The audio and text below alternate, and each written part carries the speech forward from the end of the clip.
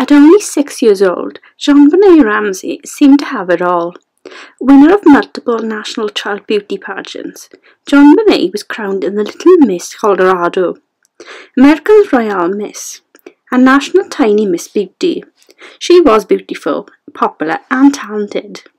But the future JonBenét and her family saw for her was not the same future that awaited for her. JonBenét was found murdered on December the 26th, 1996, in her Boulder, Colorado home. To this day, the case remains unsolved. So, what happened to America's beauty queen? December the 25th, 1996 was supposed to be a joyous day for the family. The Ramseys, John, Patsy, JonBenét, and her brother Burke, all attended a Christmas party together at a family friend's home. They arrived home later that night, putting JonBenét to bed around 10 pm, according to her mother Patsy. At around 5.30am the next morning, Patsy woke up to a startling discovery. At the top of her staircase, outside their master bedroom, was a handwritten note. It stated that JonBenét was being held hostage for a ransom of $118,000. This note will go on to become one of the most puzzling pieces of evidence in the case and quite possibly in all of American crime history. The note was unusual for many reasons. The demand was for the exact amount of John's holiday bonus he received that year. Investigators also realised the note was written with stationery found in the Ramseys' home. It was unusually long, contained erratic language and use of punctuation, and there were no fingerprints or markings found.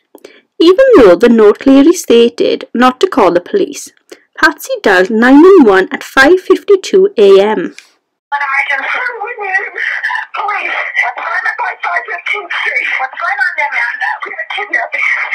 Hi, please. Explain to me what's going on, okay? There, we have a, there's a note left in our daughter's gun. A note was left in your daughter's yeah. gun? How old is your daughter? She's gone. She's gone. Six years old. Long ago? I don't know. I just have the note.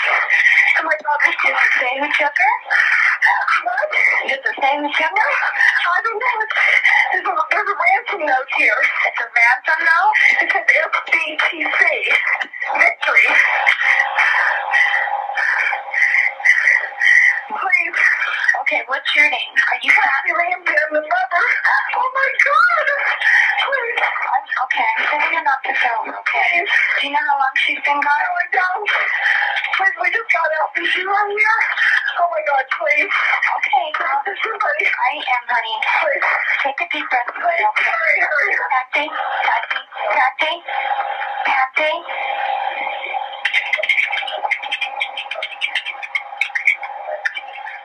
Police arrived at the scene soon after, launching a search party to find JonBenét. At this time, not only did investigators and various forensic teams flood the Ramseys' home, but neighbours, friends, and family members did as well. Believing that JonBenét was kidnapped from her bedroom, detectives did not secure the rest of the Ramsey home as a proper crime scene, allowing for potential contamination and destruction of evidence. While police scoured through the property for clues, John Ramsey made arrangements to deliver the ransom money. However, when the deadline of 10am passed, there was no phone call. No attempt from the kidnappers to connect with the Ramseys, and certainly no sign of JonBenét. At around 1pm, John Ramsey was instructed by a detective to aid in the search. He headed downstairs to the basement, where John himself made the gruesome discovery. JonBenét's body was found in the Ramseys' wine cellar. The sweet, innocent child of only six years old was found dead. Distraught John Ramsey ripped the duct tape off his daughter's mouth and carried her body upstairs to the family's living room.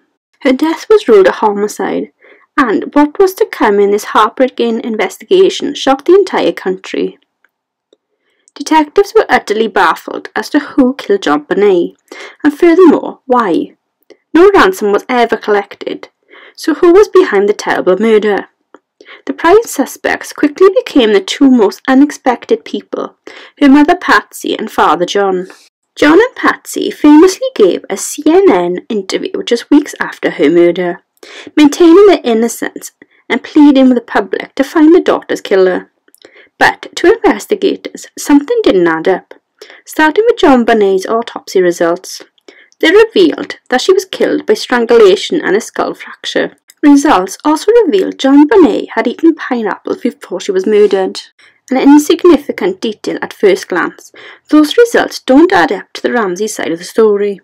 They claimed she went to bed when she arrived home, but test results indicated otherwise, as do the fingerprints that were found in the bowl of pineapple in the Ramsey's home. They belonged to Burke, JonBenet's older brother.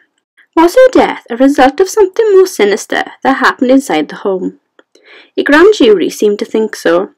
The Ramseys were indicted in 1999 for placing a child at risk and for obstructing a murder investigation. But the district attorney did not prosecute them, bringing the investigation back to square one. If the Ramseys weren't behind JonBenet's murder, then who was? One theory is that an intruder did break into the home to abduct the little girl. In fact, a boot print and fingerprint were both found at the scene, but were later cleared to be that of the family member. Still, it was possible for an intruder to have broken into the home undetected. Boulder, Colorado was a trusted city where residents left doors unlocked and windows open. Rumors started to spread nationwide about who committed the murder. Bill McReynolds, the town Santa Claus, was reportedly questioned by police but nothing definitive linked him or any other potential suspects to the case. Police did have one last piece of evidence locked away though. DNA was extracted from JonBenet's underwear, which concluded to be that of the un unidentified male. The sample was submitted to the FBI database but did not reveal a hit.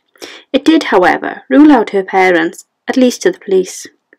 On August 15, 2006, police thought there was a light at the end of the tunnel after all when they received a confession from John Mark Karr, a 41 year old teacher, who confessed to drugging, sexually assaulting, and murdering JonBenet. Sadly, investigators realized this was nothing more than a hoax, and he was unable to provide any additional details about her murder, and failed the DNA test matched with the sample found in JonBenet's body. The Ramseys, the police department, and the country were broken at the false confession, the years since the murder, several books have been written regarding the mystery. Documentaries have been filmed. And new segments of Ed obsessing over the two-decade-old question, who killed JonBenet Ramsey?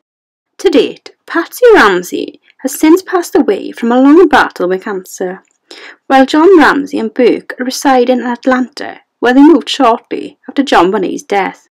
Although the country is no closer to finding the culprit behind her murder, her legacy as a charming and talented young girl will continue to live on.